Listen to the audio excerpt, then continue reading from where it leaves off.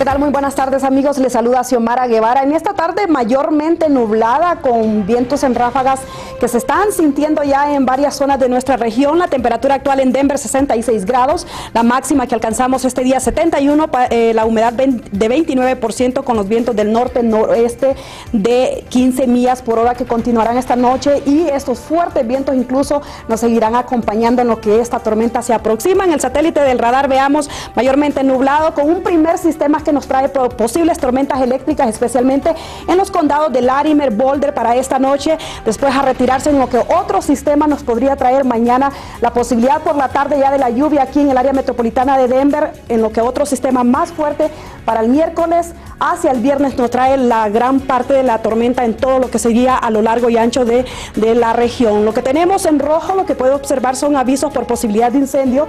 Debido a estos fuertes vientos se ha elevado la temperatura, esto nos estará acompañando este día hasta las 8 y mañana una vez más. En la advertencia de inundaciones, lo que puede ver en verde, esto está en efecto para esta noche a las 10 para el noroeste de nuestra región y vientos en ráfagas, lo que puede ver en los condados de Yuma, Kit Carson y Cheyenne extrema, vientos de 25 hasta 35 mil por hora. Esto es en efecto para mañana durante el día hasta las noches. Las mínimas para esta noche en Denver 43 grados, Aspen 33, mañana un día bastante soleado pero con fuertes vientos, la máxima, máxima que alcanzaremos en los 70 grados y en los próximos días le muestro miércoles, jueves y viernes las grandes posibilidades de las tormentas eléctricas que nos estarían acompañando. Lo más fuerte es el miércoles con condiciones bastante frescas para retirarse ya para el inicio del fin de semana. Esto es todo de mi parte, le tengo más a las 10.